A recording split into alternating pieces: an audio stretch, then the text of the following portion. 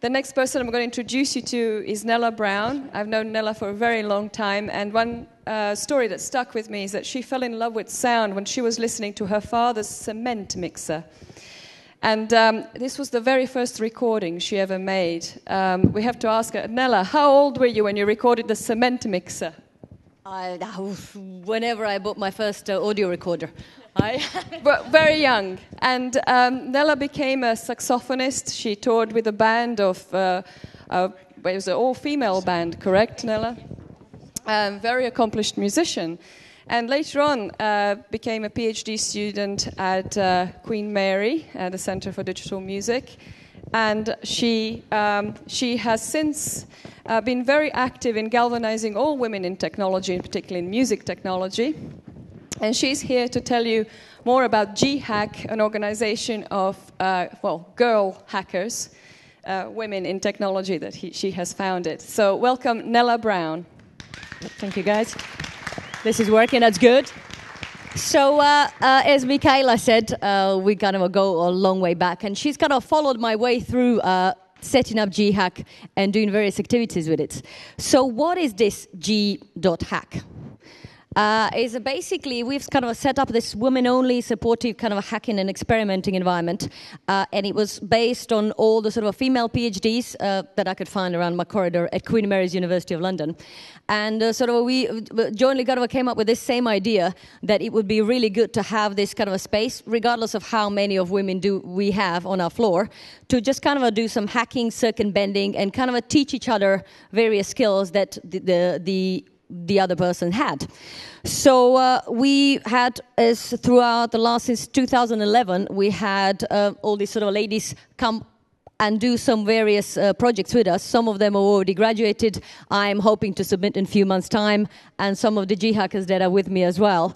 And so, sort of thing, the uh, the project is based at Queen Mary's, and then the new members come into the university and then get involved in all sorts of activities, and then they graduate and spread the word, and that's how it basically works.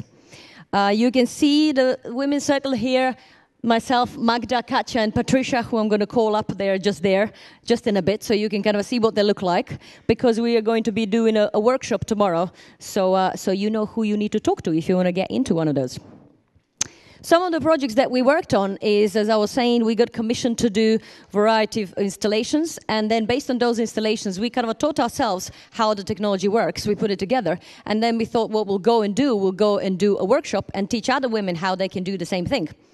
And so, so this kind of a thing went on, and we sort of uh, installed. Then we tested some installation, did some research studies, did some workshops, did more commissions, and you can see sort of uh, some of the pictures of uh, of our work. And we even did some kind of a heavy machinery uh, handling in the workshop that we have, which basically involved like cutting up some pieces of wood, doing some drilling, filling, painting, etc., etc. So, uh, kind of a bit of electronics and a dirty work altogether. I'm going to just uh, show you a couple of projects very quickly. I think we have some sound. This is the first installation that we got uh, commissioned to do at the, almost at the inception of uh, G.HACK in 2011, and it was first exhibited during the uh, V&A, which is Victoria and Albert Museum in London, Digital Weekend, and it's basically a map sound map of London. We went around and we recorded loads of soundscapes around the tea houses, London. We chose around 100 different ones. And then we kind of boiled it down to a, a 33, which we found the most interesting ones in the 33 boroughs of London. This is kind of the map, and the teapot sits on it. It's got uh, uh, three infrared LEDs. There's a camera underneath, and we use the reacTIVision software to track the movement of the teapot and Max MSP to trigger the sound. So you'll just see a little bit of that, hopefully, in action.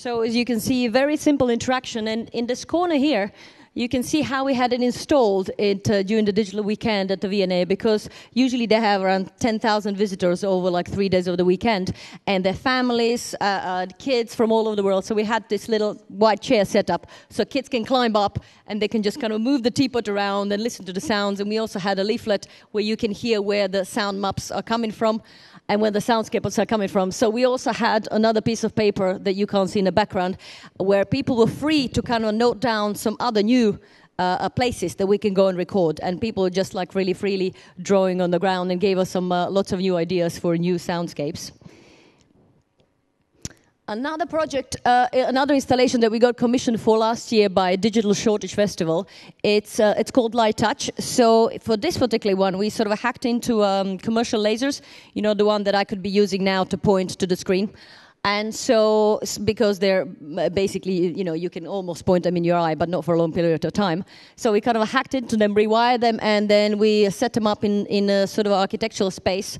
So you have kind of a, these instruments that you can play as you go through space. So it's kind of a collaborative music making with lasers in space, a bit of fun.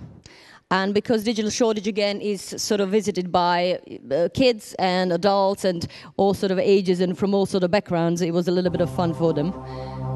We exhibited after that at the uh, CMMR conference in Marseille, and we also did a research study. And we talked to people about how they sort of perceived what was going to happen when they touched the lasers when they moved through space. So I'm just going to play a little bit.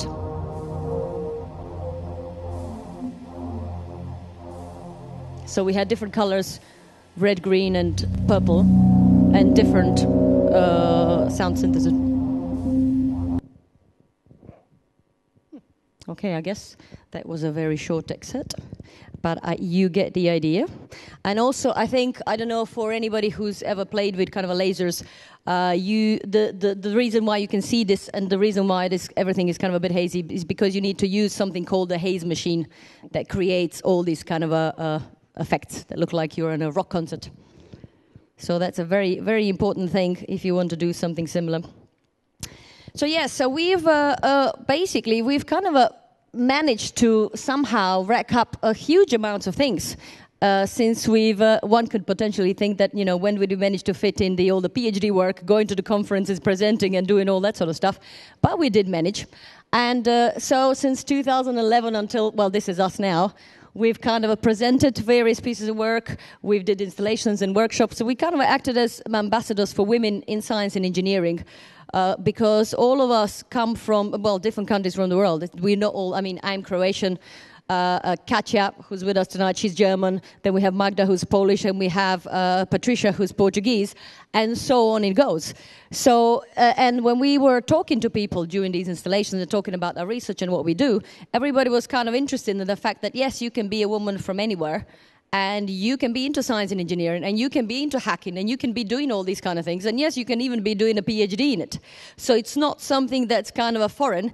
And that's that's sort of a that's i guess that's kind of the most of the joy that we get out of it that we can go out and spread the word that actually yes we're just women and we're doing it and we're loving it. And so you should be doing it too if you think this is something that you like to do but all of this, oh, before I go to our supporters, we also, another thing that we have within our department is we publish these magazines, which you can find online, which are basically for uh, secondary school or high school children to sort of uh, find out about research that we do in the department through some sort of, I guess, simplified language. So they can understand what we do and they can maybe see themselves doing a similar sort of things one day when they grow up, as one would say. And we've written when we, whenever we did an installation or kind of a workshop or project or some sort of a hacking project, we would write a little article with pictures and then we would submit it to our magazines. So that kind of went out to uh, all the high schools in the UK, so the young girls and boys can kind of read about these kind of hacking into tea-cloths and teapots, etc., etc., and maybe see themselves doing something like that one day as well. So I, I guess what I wanted to say by uh, showing these is that whatever your activity is, try not to do it in isolation. I mean, spread the word. Talk to people about what you do. If you can talk to some kids about what you do, even better. If you can write an article for a kids magazine, super. If you can write a blog, any which way that you can do it to reach out as many people as possible because you love what you're doing, so you want to share what you're doing with everybody else. And of course, none of this would be possible without our sponsors.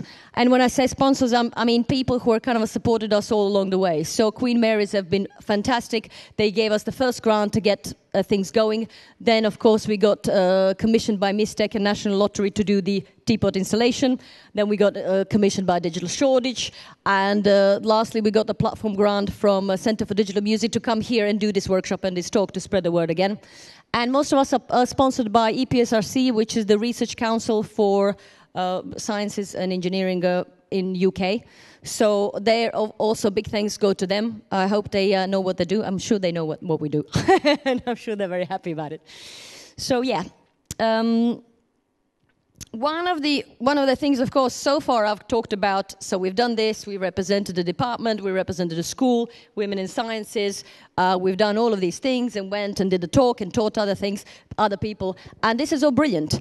But at one point we decided to just evaluate and ask our own members what exactly did you get by being in this G.HACK you know what did you learn and we found that, that, there was kind of different responses sort of a you know a, quite a mixture. So some of the people like to share and learn new skills in sort of a, within just you know university. Uh, some of the people that have like as your PhD is a kind of a quite a solitary activity, and maybe you came from your degree and never really collaborated with anybody, so you never get to share your skills in a collaborative environment. So so so some ladies that did that, they sort of said, yeah, I really love this collaboration. I bring to the table what I know, you bring to what you know, and we do something together. And of course, uh, some of them as well said that sort of uh, uh, coming in from the PhD environment and research environment and academia environment, when hacking is not really a subject or a module that you cover at any part of your degree necessarily, even though more and more in certain kind of arts and media programs we have this uh, through Arduino, etc., etc uh, they sort of said that they kind of uh, gain all the technical skills and programming that they would have never otherwise done, as well as things like, you know, just the logistics of organizing an interactive installation exhibition at the V&A.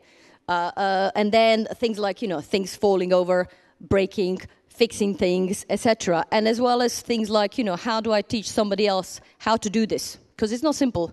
Because sometimes we work out how a piece of code works, but to teach somebody else how that works is not the same thing as us knowing it. So, uh, so, so that sort of just kind of shows you. I mean, the reason why I was kind of explaining all of this is because, I mean, this is just a little project that's been happening at the university, and any one of you guys here can start up a similar project at university, at your neighborhood, at your own local cafe, at your primary school, wherever you want to. It's really that simple. All you need to do is find a few people get them all going, find a little bit of money for a bit of material, find some outlet where you can show your word, your work and spread the word, and it really, it just you just will it into happening.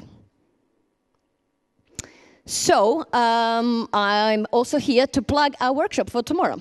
So basically, at one point, because some of us were going to music hack days and doing hacking, and we kind of realized, well, where are the women? Again, the same scenario when we started G.HACK. Where are the members of G.HACK? Where are they? So we, we realized that there isn't a small percentage of women hacking in hack days. So we thought, okay, what's the new hot thing that we want to teach people? Uh, and we stumbled upon the Web Audio API, which is the standard that's been developed by a couple of companies, well, three or four, everybody actually on the web, Google, Mozilla, etc. And so we decided to first teach ourselves what is this Web Audio API, so then we can hack into it, and then we can teach other women how to actually hack into it and how to do something with it. So this is the workshop that we're running for women tomorrow. It's happening from 11:30 to 2:30. And uh, so learn how to hack uh, web audio uh, with G.HACK. And we will be hacking into, uh, um, we would be sort of making a sound map of uh, Centre Pompidou area, like here comes Centre Pompidou, the squares around. So by the end of it, the participants will know a little bit of HTML, a little bit of JavaScript, uh, what does the audio API mean, where to look up on various kind of forums uh, and follow up the development of web audio, what to do if things go wrong, uh, how to check whether your browser is still compatible with the code, etc., and hopefully be able to go home and then kind of add onto that map, make a map of their own for their own website, for the game, whatever it is, just kind of get a little bit of insight into how it all works. So, um, before I tell you uh, where you can sign up for that, I would just like to ask the ladies to come up so you can see what they look like because it's very important. C'est très important. Come on, Patricia. So we have Magda. She's a professional cello player and also a hacker. We have Katja, she's an architect, hacker, and programmer, and all sorts of stuff. And we have Patricia, she's a performance artist and now a hacker as of recent. Thank you. So, uh, so yeah, so we, the four of us, will be teaching the uh, uh, the uh, workshop tomorrow. Uh, we still have some places in the workshop. Uh, the places are going to probably close. I think the registration closes um, at 10 tonight, right? Oh, sorry, at 10 o'clock tomorrow morning. But just in case you didn't have the time to kind of, uh, you know, sign up or whatever, just show up tomorrow on the day at, I think we open up around 11, quarter past 11. Come and say, I've seen your talk, I want to join this workshop. Bring your laptop and go to our webpage because the Eventbrite link to sign up is very long. So this is the webpage, ghack.ex at qml.ac.uk. And on the webpage, you will see this is like the first bit of blogging. And somewhere here, you can see that you can register. This link will take you to the Eventbrite, where you can see all the details, how to register, when it all starts, and the, the software that you need to download.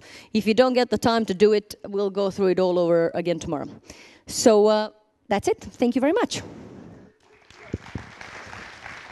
Thank you, G.HACK.